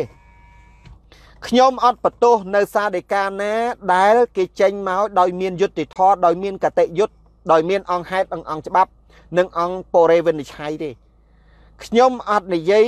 សាលដីកាទាំងអស់នោះទេខ្ញុំនិយាយតែសាលដីកានយោបាយគឺសាលដីកាតឡាការកម្ពុជាគឺខ្ញុំទុកថាវាជាសាលដីកាអាចឆ្កែ ហើយខ្ញុំនិយាយដូច្នោះពួកគណៈបកប្រជាជន និងអ្នកចេញសាលដីកាតឡាចេញសាលដីកានឹងប្តឹងខ្ញុំក៏ប្តឹងទៅឬក៏ទុកថាអាឡុងនឹងគឺជាក្មេងឆ្លើយក្មេងចំលើយក្មេងថោកទាបក្មេងចោលមកសៀតអានឹងក៏ថាទៅប៉ុន្តែខ្ញុំគ្រាន់តែបកស្រាយថាអាឡុងវាឆ្លើយប្រៀបធៀបសាធិការនឹងទៅជាអាចឆ្កែឬអន់ជាងអាចឆ្កែប៉ុន្តែបើប្រៀបធៀបសាធិការរបស់ពួកអស់លោកដែលបានចេញមកហ្នឹងអានឹងគឺជាសាធិការចេញមកពីឋាននរក ពួកសត្វនរកទេដែលគេប្រើណាដែលដែលដែលប្រើសាធិការឋាននរកចុះនៅសុកសុកសម្រាប់ប្រជាធិបតេយ្យឥឡូវអីអីភុយភុយភុយភុយភុយភុយមុលនៅសុកសុកសម្រាប់គេចោលចោតគេថាគេជាជួនក្បត់ជាតិមកទល់គ្នានឹងពេលហ្នឹងគេមិនទាន់នឹងដឹងថាក្បត់ជាតិអីផងហើយអត់ព្រមដោះលែងគេអត់ព្រមដោះលែងឥឡូវនឹងដាក់ឲ្យនៅក្រៅផ្ទះគេថា អត់ទេគេដោះលែងហើយតាលោកប្រធានកម្មសខាខ្ពើមដោះលែងឈួតឥឡូវចាប់ហ៊ុនសែនយកទៅឃុំអញ្ចឹងទៅហើយអួតថាហើយថាយើងដោះលែងដែរអានឹងហើយគេហៅតែឃុំខ្លួននោះជាឃុំក្នុងផ្ទះក៏ដោយក្នុងគុកក៏ដោយឃុំខ្លួននៅគ្នាទេលោកស្រីអង្សាងសុជីគឺឃុំក្នុងក្នុងផ្ទះតាមានឃុំនៅនៅក្នុងគុកឯណាអង្សាងសុជីគឺឃុំក្នុងផ្ទះដោយលោកកឹមសខាអញ្ចឹងអានឹង អន្តរជាតិគេចាត់ទុកថាអានឹងវាជាការឃុំខ្លួនមិនមែនថាដោះលែងទេណាបើដោះលែងវាតតកម្មសខាអាចមានសិទ្ធិមកអាមេរិកកាំងអាចមានសិទ្ធិមកបារាំងអាចមានសិទ្ធិមកប្រទេសនានាមកជួបពួកយើងបានអានឹងបានមានសេរីភាពហើយទៅចាប់លោកកឹមសខាឲ្យជាប់ហើយបដ ாய் ឲ្យកូនចៅលោកកឹមសខាដើរធ្វើរឿងភ្ជុះភ្លៀងយើងមិនដឹងទេយើងមិនដឹងពួកលោកឯងពួកលោកឯងនឹងមានបំណងចាប់លោកកឹមសខាទុកកុំឲ្យលោកកឹមសខានិយាយបន្ទាប់មកឲ្យមេធាវីកឹមសខាប្រមាណក្បាល ជាមួយនឹងពួកអាចអាចារ្យប្រមាណនឹងអ្នកកលុកគណៈបកសង្គ្រោះជាតិឲ្យបែកបាក់ហើយស្មានតែពួកយើងអត់ដឹងហើយស្មានតែពួកយើងអត់ទប់ស្កាត់អាបញ្ហាអស់នឹងនោះយើងដឹងគ្រាន់តែលោកឯងចេញកាឡាមកគ្រាន់តែលោកឯងងៀបតែផឹងចេញអាចមកមិនទាន់ទាំងចេញលាមកលោកឯងមកផងពួកយើងដឹងហើយពួកយើងយកឈើទៅទល់មិនឲ្យលាមកលោកឯងចេញមកទេកន្លងមកគឺអញ្ចឹង ឲ្យតែពួកលោកឯងចង់ប្រឹងចេញជុះលាមកចេញមកនឹងយើងទល់យើងយើងឃើញមិនទាន់ឲ្យអាលាមកនឹងចេញមកក្រៅតាន់ទេយើងឃើញប៉ឹមប៉ឹមប៉ឹមប៉ឹមយកអាចលួញទៅទល់ចាក់បញ្ចូលទៅក្នុងវិញហើយកុំចេញកុំចេញឲ្យសោះហើយតែចេញមករឿងអត់មានអត់នេះទេអត់ឲ្យលាមកលោកឯងចេញរួចទេខ្ញុំប្រាប់ណាគណៈបកសង្គ្រោះជាតិថ្នាក់ដឹកនាំនិងសកម្មជនគណៈបកសង្គ្រោះជាតិហ្នឹងមិនមែនទីងងទេណាគេបកកែបកកែគេចេះចេះគ្រាន់តែខ្លះគេអត់និយាយ អាឡុងហ្នឹងមានសិទ្ធមានការនិយាយប៉ុន្តែអ្នកខ្លះគេអត់និយាយគេបកកែគេបកកែអញ្ចឹងខ្ញុំបញ្ជាក់ថាខ្ញុំបញ្ជាក់ថាអ្វីដែលពួកនឹងធ្វើគឺគេមានបំណងអញ្ចឹងអញ្ចឹងខ្ញុំសូមសរុបមកវិញបងប្អូនអ្វីដែលខាងគណៈបកប្រជាជនត្រូវធ្វើ ទី1គឺបន្តសម្លុតគម្រាមកំហែងនិងបំផិតបំភ័យចាប់ចងបន្តទៅទៀតប៉ុន្តែឲ្យចាប់កាន់តែច្រើនកាន់តែល្អ បាទឲ្យចាប់កាន់តែច្រើនកាន់តែល្អទី1ទី2ហ៊ុនសែននឹងរៀបចំផ្លាស់ប្ដូរកងកម្លាំងនៅគ្រប់ទីកន្លែងទាំងអស់ខ្ញុំប្រើពាក្យមួយម៉ាត់នៅគ្រប់ទីកន្លែងទាំងអស់ធ្វើយ៉ាងម៉េចឲ្យប្រជាពលរដ្ឋឃើញថាប្រទេសនឹងអសន្តិសុខខ្ញុំសូមជម្រាបប្រជាពលរដ្ឋទូទាំងប្រទេសទាំងក្នុងនិងក្រៅប្រទេសឲ្យបានដឹងថាដំណើរមាតុភូមិនិវត្តមិនមែនជាដំណើរបង្កអសន្តិភាពទេ អសន្តិសុខទេ ពីព្រោះជាដំណើរអហិង្សាជាដំណើរដៃទទេស្របតាមរដ្ឋធម្មនុញ្ញមែនទេបងឡៃសូដែលមានស្រេចទី3ហ៊ុនសែនប្រឈមជាមួយនឹងការលុបចោលនៅការធ្វើបន់ឬក៏ផ្អាកធ្វើបន់ក្នុងមួយឆ្នាំ គឺបន់ឯករាជ្យជាតិគឺគោលបំណងហ៊ុនសែនលុបចោលគឺគោលបំណងដើម្បីឲ្យមន្ត្រីរាជការធ្វើការងារធម្មតា ឲ្យកម្មករកម្មការនីធ្វើការងារធម្មតា នៅថ្ងៃដែលលោកប្រធានសំរងស៊ីនិងពួកយើងនាំគ្នាទៅប្រទេសកម្ពុជាដើម្បីកុំឲ្យមើលឃើញថាអ្នកដែលទៅទទួលដង្ហែដង្ហមលោកប្រធានសំរងស៊ីនឹងច្រើនពេកពីព្រោះពីប្រទេសថៃគេទៅច្រើនពួកហ៊ុនសែនគេទប់នៅប្រទេសថៃហ៊ុនសែនទប់នៅប្រទេសកូរ៉េគេឲ្យក្រុមយុវជននៅកូរ៉េមកក្រុមនោះដើម្បីទប់ស្កាត់ប្រើផ្លាកគណៈបកសង្គ្រោះជាតិហ៎ ហ៊ុនសែនគេប្រើកលៃផ្សេងផ្សេងទៀតដើម្បីឲ្យទប់ស្កាត់ទៀតអញ្ចឹងមានន័យថាគេទប់ស្កាត់ពីថៃពាក់កដាលទៅឧបមាណាឧបមាថាបើបងប្អូនយើងមួយចំនួនគាត់មិនលុះមិនលះគាត់មិនប្រកបគាត់មិនរឹងមាំគាត់មិនច្បាស់លាស់ណាជាមួយនឹងប្រទេសជាតិគាត់អាចមិនទៅ មិនមែនមានន័យថាគាត់ក្បត់ទេគ្រាន់តែថាគាត់អាចមិនទៅប៉ុន្តែបើសិនណាជាបងប្អូនគិតពីផលប្រយោជន៍ជាតិឈឺចាប់នៅក្នុងរបបលោកហ៊ុនសែនគ្រប់គ្រប់គ្នាបងប្អូននៅក្រៅប្រទេស ទោះជាមកចំហ៊ានទៅគេបាញ់ចោលក៏ត្រូវតែទៅដែរក៏ត្រូវតែទៅដែរហ៊ុនសែនអត់ហ៊ានបាញ់មនុស្សសម្រាប់ចោលទេដោយសារតែហ៊ុនសែនមិនហ៊ានបាញ់សម្រាប់មនុស្សនឹងហើយបានជាហ៊ុនសែនចេះតែគម្រាមដើម្បីហាមកុំឲ្យនេះនឹងព្រោះកាលណាបើហ៊ុនសែនមិនគម្រាមអាវុធហ៊ុនសែនចុងក្រោយមានអីមានតែគម្រាមចាប់ដាក់គុកនឹងក្រៅតែពីនឹងហ៊ុនសែនមានអីទៀតបើហ៊ុនសែនហ៊ានតែសម្រាប់មនុស្ស ពេលនោះហ៊ុនសែនកាន់តែធ្ងន់កទៅអានឹងមិនមែនរឿងតែ EBA មិនមែនរឿងតែ GSP មិនមែនរឿងតែ Department of Human Rights ទេហ៊ុនសែនប្រឈមជាមួយនឹងសន្តិសុខសន្តិភាពធ្នាប់ពាក់ព័ន្ធជាមួយរឿងជន់ប្រល័យពូជសាសន៍ដោយអ៊ីតាលីដោយប៉ុលពតទៅទៀតដូច្នេះពេលហ្នឹងអង្គការសហប្រជាជាតិឥឡូវហ្នឹងចិនអាចត្រូវបានដកចេញឬក៏ចិនហ្នឹងត្រូវអីអីចឹងឧបមា អង្គការសន្តិ department ខាងសន្តិសុខសំទោសខាងសន្តិសុខអង្គការសហប្រជាជាតិហ្នឹងគេពិនិត្យមើលពេលនោះសហអង្គការសហប្រជាជាតិក៏ដាក់បន្ទុកហ៊ុនសែនកាន់តែធ្ងន់ហ៊ុនសែនរត់ទៅស្រុកយួនក៏ងាប់ហ៊ុនសែនរត់ទៅស្រុកចិនក៏ងាប់មិនងាប់ដោយសារយើងទេគឺហ៊ុនសែនងាប់ទៅស្រុករត់ទៅស្រុកយួនយួនចាក់ឆ្នាំឲ្យងាប់ហ៊ុនសែនរត់ទៅស្រុកចិន ចិនឲ្យហ៊ុនសែនលួងទឹកងាប់ដូច្នេះហ៊ុនសែនរត់ទៅណាក៏អត់រួចដែរណារត់ទៅណាក៏អត់រួចដែរ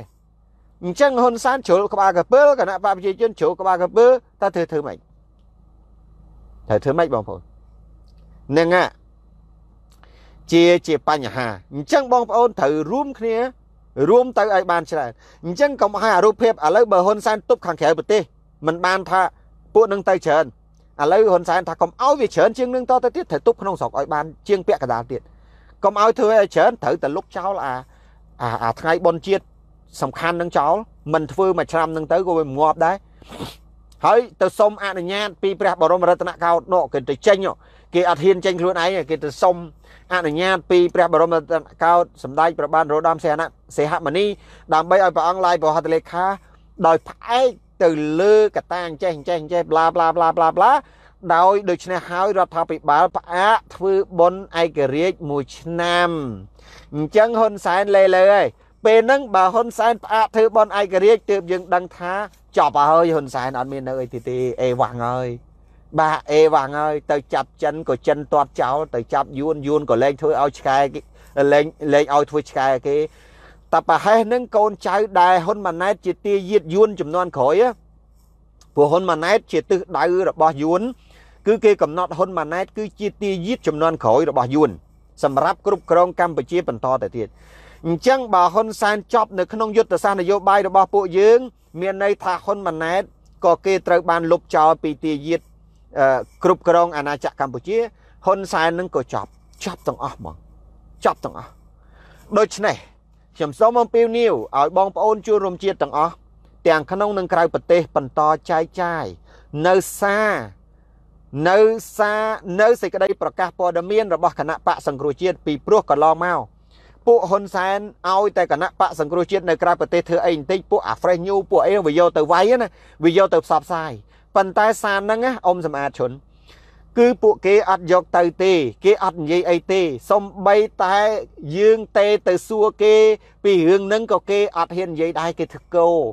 គេធ្វើកើតជំងឺអឺអឺអឺអឺអាដូចអភ័យសិផានដោយលោកគ្រូសរថាអឺអាអឺអានិយាយលេងចេញវានិយាយលេងចេញអញ្ចឹងវិធីរបស់ហ៊ុនសែនទីទី1គឺមានតែបន្តភាពស្ងប់ស្ងាត់អញ្ចឹងទេ ស្ងប់ស្ងាត់លែងឲ្យតលែងឲ្យអីទាំងអស់ ហើយគេយល់ថាអាការដែលលែងឲ្យតនឹងវាជារឿងដែលគេធ្វើត្រឹមត្រូវយុទ្ធសាស្ត្របន្ទាប់លោកហ៊ុនសែនទៅសំងក់ទៅសងំរៀនយុទ្ធសាស្ត្របន្ទាប់មកសុំគណៈបកសង្គ្រោះជាតិចរចាឬក៏សុំអន្តរជាតិចរចាឥឡូវហ្នឹងហ៊ុនសែនដែលត្រូវធ្វើគឺហ៊ុនសែនត្រូវសុំអន្តរជាតិចរចាអានឹងចំណុចទី1ចំណុចទី2ជំរឿរបស់ហ៊ុនសែនចំណុចទី2គឺធ្វើឲ្យក្តួងក្តាំងកាន់តែខ្លាំង មានន័យថាហ៊ុនសែនបង្កើតរូបភាពអាក្រក់អញ្ចេះបង្កើតរូបភាពអាក្រក់អញ្ចោះបង្កើតក្រុមនេះបង្កើតក្រុមនោះដើម្បីធ្វើម៉េចអញ្ចឹងរូបភាពមានតែពីរនឹងទេបងប្អូនចាំតាមដានបើលោកហ៊ុនសែនស្ងាត់មានន័យថាហ៊ុនសែនទៅរៀនយុទ្ធសាស្ត្រដើម្បីចរចាយកចំណេញពេលដែលគណៈបកសង្គ្រោះជាតិពេលដែលហ៊ុនសែនព្រមទទួលព្រមឲ្យគណៈបកសង្គ្រោះជាតិមកវិញហ៊ុនសែនទៅរៀនយុទ្ធសាស្ត្រធ្វើយ៉ាងម៉េចដើម្បីឲ្យឲ្យគណៈបកខ្លួនឯងក្រោយពីរំលាយគណៈបកសង្គ្រោះជាតិទៅបានចំណេញទី1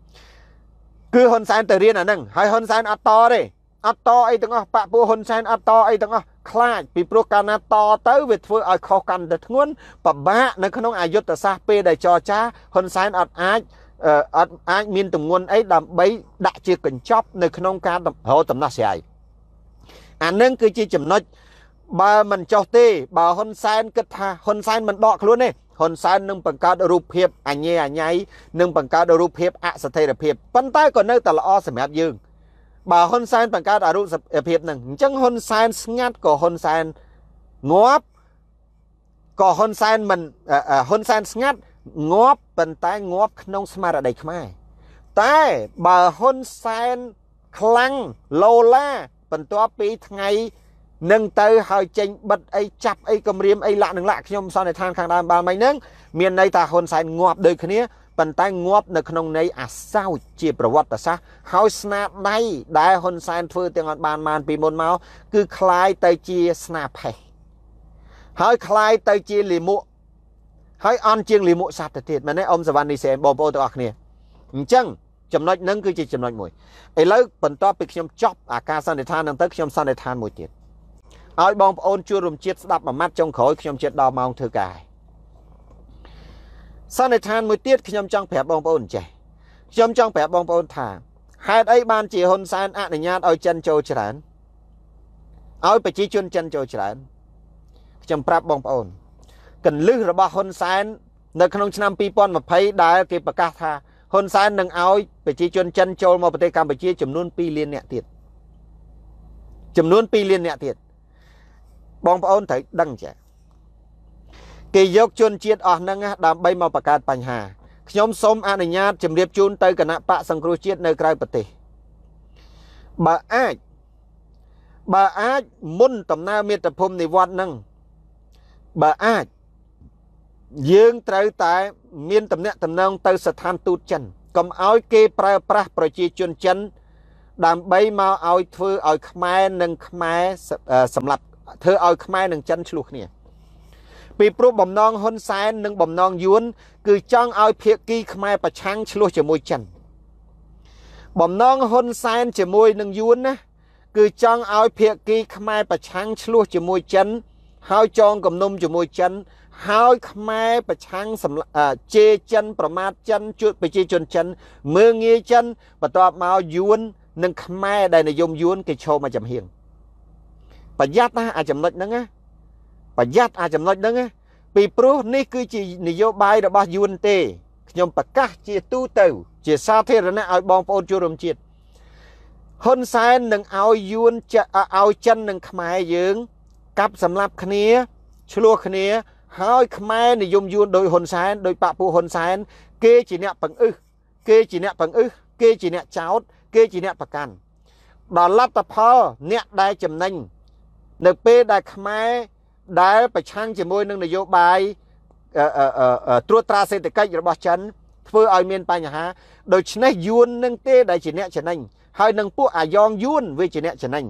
ដូច្នេះកុំដើរចូលកាឡាអាយ៉ងយួនឲ្យសោះកុំដើរចូលកាឡារបស់នយោបាយយួនឲ្យសោះហ៊ុនសែនមានបំណងអញ្ចឹងឯងអញ្ចឹងហើយបានជាហ៊ុនសែនបញ្ចូលប្រជាសាស្ត្រមកហ៊ុនសែនអត់ខ្វល់ថាប្រជាសាស្ត្រនឹងវាជាពួកជើងកាងឬក៏អី បើពួកអាក្រក់មកពីស្រុកចិនកាន់តែច្រើនកាន់តែល្អពីព្រោះហ៊ុនសែនប្រើមនុស្សអាក្រក់អញ្ចឹងដើម្បីបង្កើតភាពចលាចលនេះមិនមែនជាបំណងហ៊ុនសែនទេគឺជាបំណងរបស់យួនដើម្បីបង្កើតឲ្យខ្មែរយើងស្អប់ចិនហើយភ្លេចយួនសូមជម្រាបបងប្អូនជួររំជាតិទាំងអស់ត្រូវដឹងអំពីរឿងហ្នឹងត្រូវដឹងអំពីរឿងហ្នឹងដូច្នេះគណៈបកសង្គ្រោះជាតិថ្នាក់ដឹកនាំជាន់ខ្ពស់បើសិនណាជាមានតំណែងតំណងល្អណាមួយត្រូវតែធ្វើរឿងហ្នឹងធ្វើម៉េចកុំឲ្យ ចំនួនរវាងខ្មែរនិងចិនកើតឡើងកុំឲ្យកាលណាបើចំនួនខ្មែរនិងចិនកើតឡើងដោយអាពោតចឹងរឿងអាពោតជាមួយនឹងយួនគឺដោយសារតែខ្មែរនិងចិនឆ្លោះគ្នាខ្មែរមួយចំនួនស្អប់ចិនខ្មែរមួយចំនួនស្រឡាញ់ចិនខ្មែរនិយមយួនចាក់រុកឲ្យខ្មែរស្អប់ចិនវាយជាមួយចិនសម្រាប់ចិនកំទេចចិន ដូច្នេះអានយោបាយអយុទ្ធសាស្ត្រដដែលដដែលហ្នឹងណាបងប្អូនកុំឲ្យកើតមានអាទៀតយើងជាកូនចៅចំនួនក្រោយកុំឲ្យកើតមានឲ្យសោះអាហ្នឹងអាហ្នឹងបញ្ជាក់ឲ្យហើយចិនណាអាក្រក់ថាចិននឹងអាក្រក់ចិនណាល្អយើងសរសើរតែចិននឹងល្អចិនគេរកស៊ីត្រឹមត្រូវកុំប៉ះពាល់គេកុំឆ្លោះប្រកែកជាមួយគេចិនមិនមែនអាក្រក់ទាំងអស់ទេអញ្ចឹងបងប្អូនត្រូវត្រូវត្រូវពិចារណាអាចំណុចនឹងមុននឹងធ្វើអីនីមួយនីមួយសំខាន់គឺយួនវាធ្វើឲ្យហ៊ុនសែននឹងធ្វើអញ្ចឹង អានឹងគឺសំខាន់មែនទែនចឹងខ្ញុំមានតែប៉ុណ្្នឹងឯងបងប្អូនផ្ដាំជាចុងក្រោយខ្ញុំដល់ម៉ោងពេលវេលាហើយសូមអរគុណណាចំពោះបងប្អូនដែលបានចែកចាយព័ត៌មាននេះដូច្នេះពីថ្ងៃនេះទៅបងប្អូនជួបរំជាទាំងអស់គ្នា ថ្ងៃទី29សំទោសថ្ងៃទី9ខែវិច្ឆិកាឆ្នាំ2019គឺជាកាលបរិច្ឆេទកំណត់នៃដំណើរមាតុភូមិនិវត្តរបស់គណៈបកសង្គ្រោះជាតិនៅក្រៅប្រទេស ដឹកនាំដោយលោកប្រធានស្ដីទីសំរងស៊ីចូលទៅក្នុងប្រទេសកម្ពុជាវិញ បាទនេះសូមអរគុណអរគុណលោកពូអ៊ុំកនដែលបានជើញចូលរួមអ៊ំសំអាតបងគីចៅបងប្អូនទាំងគ្នាសូមអរគុណជូនពរឲ្យអស់លោកលោកស្រីអ្នកនាងកញ្ញាទាំងអស់ជាពិសេសជួនរួមជាខ្មែរទាំងអស់នាំគ្នាក្រោកឡើង ការពារប្រទេសជាតិយើងទាំងអស់គ្នា ដើម្បីការពារពូជសាសន៍មួយនេះខ្ញុំទៅចុះអ្នកវិញតោះយើងនាំគ្នាទៅផ្ទះយើងវិញបាទសូមអរគុណសូមជម្រាបលា